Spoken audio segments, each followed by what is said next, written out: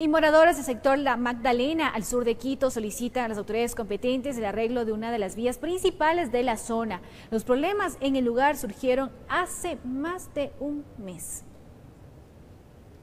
Ubicado entre las calles de Pilcachime y Quitus. Según relató la comunidad, el problema se originó tras una fuga de agua hace varias semanas. Sin embargo, se han realizado dos reparaciones y la calzada continúa destruida. Ya arreglaron, pero estaba mal arreglado y después otra vez comenzó a hacerse como batea, y venían los buses y como caían y comenzó a irse el agua poco a poco. Imagínense todito eso se llenó de lodo así. La gente que venía a pasar los carros y le mojaba todito. Los comerciantes de la zona están preocupados por la cantidad de polvo. En el lugar en especial se oferta comida. Un caos del sonido de los carros, que no se dan de cuenta que hay un hueco y golpean fuerte. Entonces yo creo que debe haber más interés entre las autoridades que se preocupen del barrio.